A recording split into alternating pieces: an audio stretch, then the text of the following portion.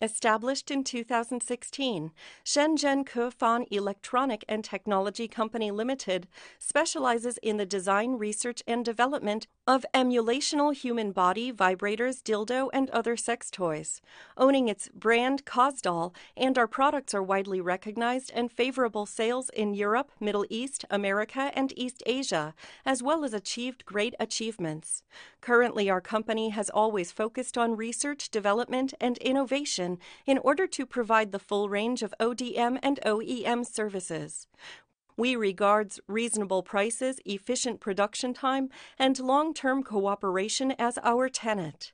We actively participate in professional adult product exhibitions every year, such as Las Vegas, Guangzhou Sex Culture Canton Fair, and German Adult Exhibition, etc.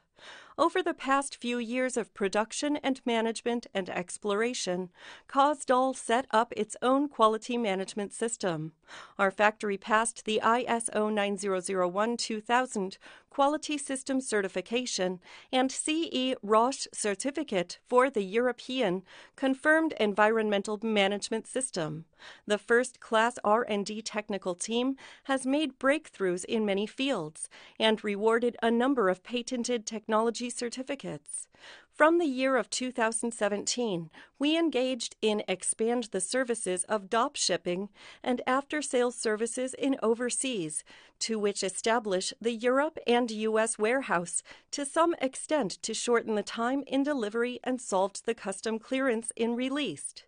We are very eager to meet and collaborate with partners who are recognized mutually and have the same ideals in business trade with us.